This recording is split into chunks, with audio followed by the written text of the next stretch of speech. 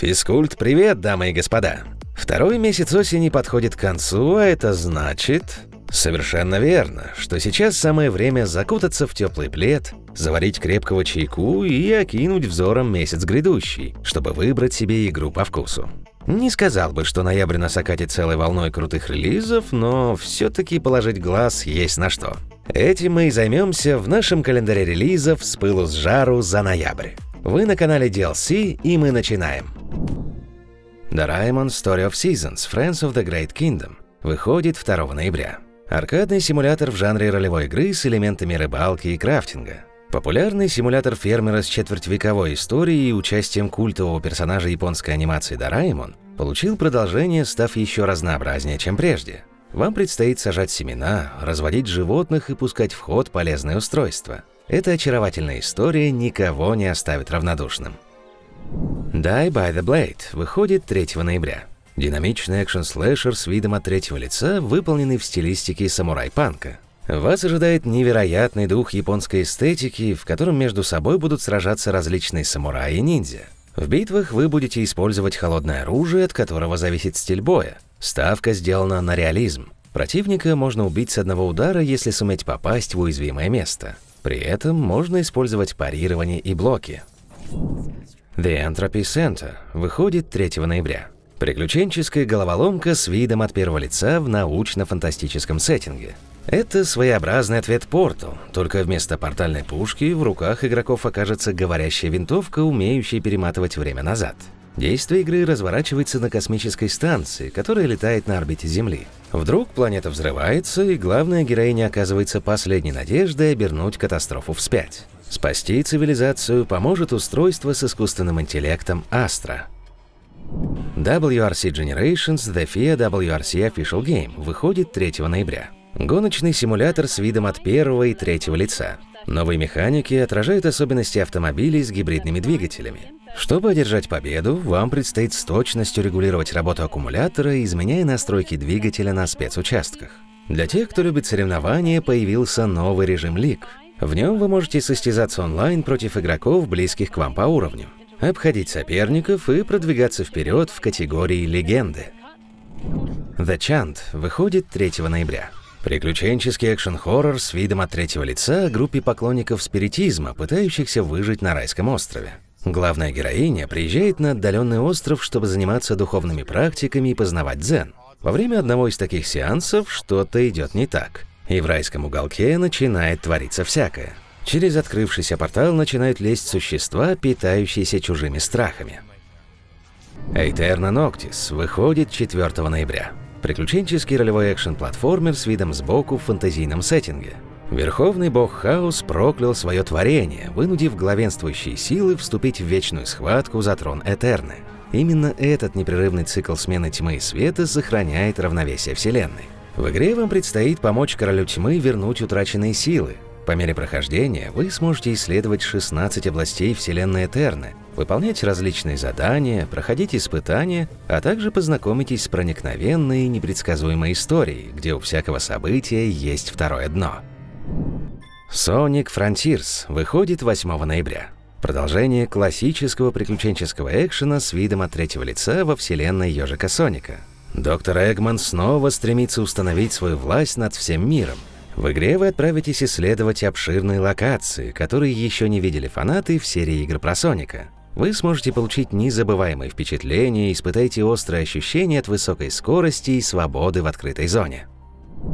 Футбол Менеджер 2023 выходит 8 ноября. Что логично из названия «футбольный менеджер», в котором можно взять в управление любимый клуб и привести его к победам во всех возможных турнирах. В новой версии изменения затронули большую часть интерфейса, сделав его более соответствующим современным трендам.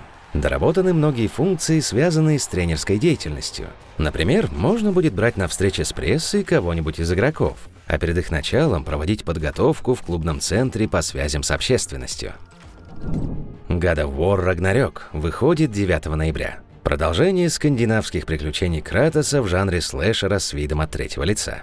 Главной темой сиквела станет Рагнарёк, конец света в скандинавской мифологии. В первой части перезапуска God of War события разворачиваются в гористой заснеженной местности Скандинавии, где местные боги не любят чужаков. Кратос учит сына быть не мальчиком, но мужем, не способным проявить жалость и сострадание. Им предстоит выбраться из Скандинавии, встретив на пути не только врагов, но и разного рода союзников. Действия сиквела развернутся спустя несколько лет после событий God of War. Во время прохождения игроки посетят все девять миров, включая Свартальфахейм, Ванахейм и Асгард из первой части. Главными противниками выступят богиня любви Фрея и бог грома Тор со своим молотом Мьёльниром. Фимбул Винтер идет полным ходом. Кратос и Атрей должны отправиться в каждый из девяти миров, чтобы найти ответы. В это время силы Асгарда готовятся к предсказанной битве, которая положит конец всему миру. Во время путешествия отец и сын будут исследовать потрясающие мифические пейзажи и столкнуться со страшными противниками в лице скандинавских богов и монстров. Угроза Рагнарёка становится все ближе. Кратос и Атрей должны выбирать между собственной безопасностью и безопасностью миров. Dying Light 2 Stay Human Bloody Ties выходит 10 ноября. Дополнение для динамичного шутера с видом от первого лица в мире зомби-апокалипсиса Dying Light 2 Stay Human где вам снова предстоит играть за Эйдена и принять участие в турнире, где люди готовы на все ради статуса. Дополнение предложит отправиться в новые приключения, где можно посетить оперный зал Карнеги Холл, полный различных испытаний, заданий, вооружений и сюрпризов. Здесь герою предстоит сразиться с многочисленными врагами. Дополнение, естественно, требует наличия оригинальной версии Dying Light 2 Stay Human. Valkyrie Elysium выходит 11 ноября. Приключенческий экшен с видом от третьего лица в фэнтезийном сеттинге.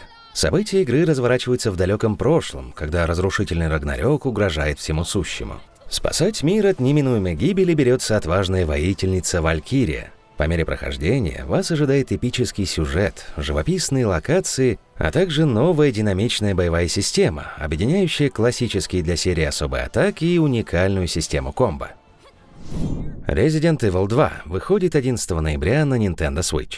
Переиздание классического экшен-хоррора Resident Evil 2 1998 года с видом от третьего лица. События сиквела разворачиваются спустя два месяца после концовки Resident Evil HD Remaster.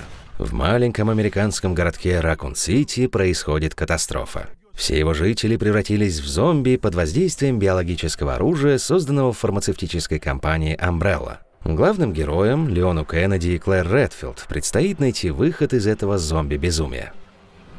Pentiment выходит 15 ноября. Исторический ролевой детектив с большим акцентом на сюжет и проработку персонажей, события которого развернутся в Баварии начала 16 века. Главный герой – подмастерье, который следует за наставником и помогает ему во всех делах.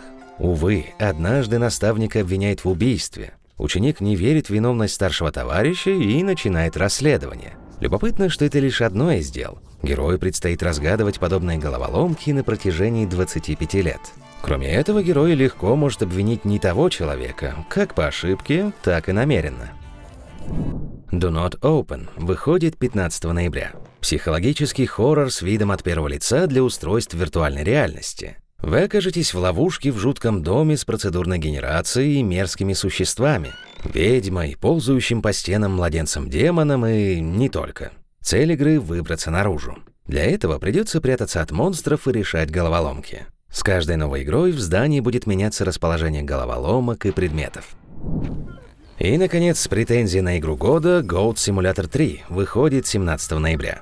Продолжение сумасшедшего симулятора козла с видом от третьего лица – как и в прошлых частях, вас ждет масса юмора и безумного веселья. Вы окажетесь в открытом мире, наполненном событиями, NPC, коллекционными предметами, секретами и разнообразными мини-играми.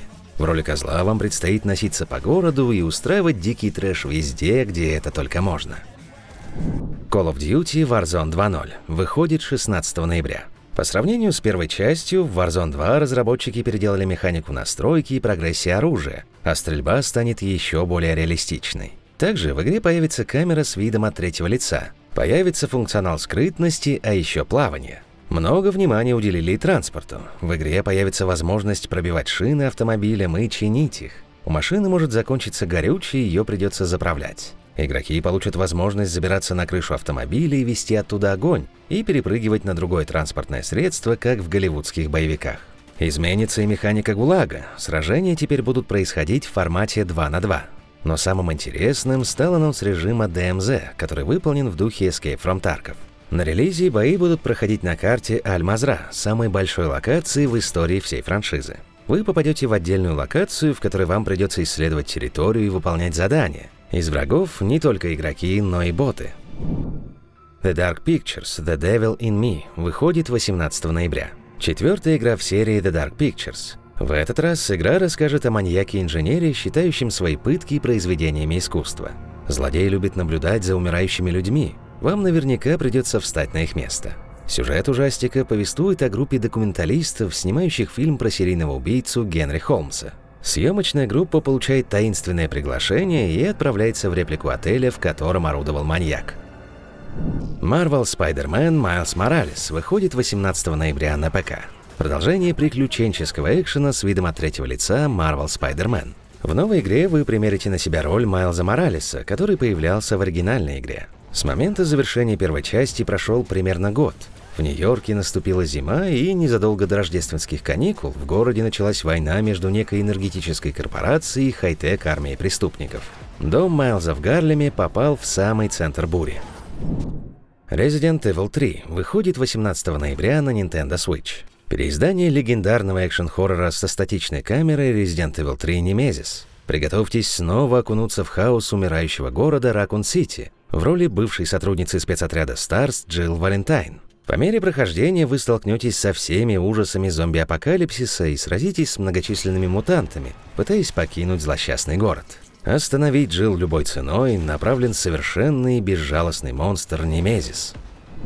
Evil West выходит 22 ноября. Кровавый, кооперативный экшен с видом от третьего лица, в котором сеттинг Дикого Запада дополнили мистическими тварями, включая вампиров.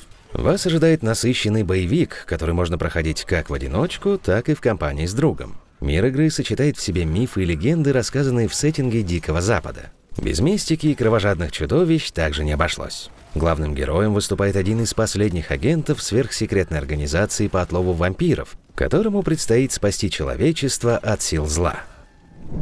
Gungrave Gore выходит 22 ноября. Аркадный экшен с видом от третьего лица в футуристическом стиле. Игра создана по мотивам одноименного аниме-сериала. Вам предстоит вжиться в роль бывшего наемника Грейва, которого убили, а затем воскресили, что наделило его сверхчеловеческой силой. Ему предстоит бороться с преступной организацией «Клан Воронов», которая производит и распространяет наркотик СИД. World of Warcraft Dragonflight выходит 28 ноября. Дополнение для многопользовательской игры с видом от третьего лица в фэнтезийном сеттинге World of Warcraft. Дополнение увеличивает максимальный уровень до 70-го, добавляет новую систему талантов, расу Драктира и эксклюзивный для нее класс Пробудитель, а также новые подземелья, обновленные интерфейсы и переработанные профессии. Еще вас ожидает новый континент Драконьи острова, в котором можно будет приручать и кастомизировать драконов и даже летать на них. Warhammer 40 тысяч Dark Tide выходит 30 ноября.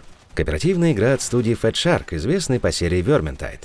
Вам предстоит сразиться против полчищ врагов. Правда, уже не в сыром мрачном средневековье, а в мире будущего. Действие происходит в городе Ульи Тетриум на планете Атома Прайм. Еретики из культа Адмонишн планируют захватить власть, и из-за них Улей медленно поглощает скверно. А на этом у нас все. Предлагаю вам спешно переместиться в комментарии и рассказать нам, во что вы будете играть в ноябре. Не забывайте ставить лайк, подписываться на канал и бить в колокол. Оставайтесь с нами, дальше будет только интересней. За сим откланиваюсь. Всем добра!